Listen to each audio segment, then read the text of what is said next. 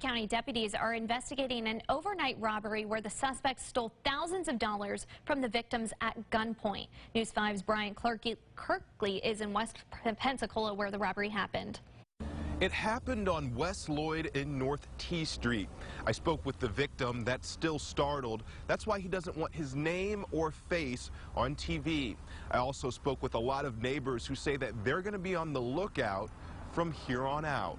Well, I think that's a big thing for this community now because I never seen it happen, you know, like that, getting robbed at gunpoint around here. The victim says he and a friend were pulling out of the driveway when a man came up and asked for change. The victim says he told the man he didn't have any change. Then another man came up to the car and robbed them at gunpoint. The victim says his friend had over $6,000 in cash on her because she was leaving town. Escambia County deputies are now looking for two men who sped away in a dark-colored car. On Thursday morning, deputies could still be seen patrolling the area. I thought this was a quiet neighborhood, but, you know, I have uh, sat up at night and seen people all night long out here, you know. Man, what are they up to? If you have any information on this robbery, please contact Escambia County deputies. In Pensacola, I'm Bryant Clerkley, WKRG News 5.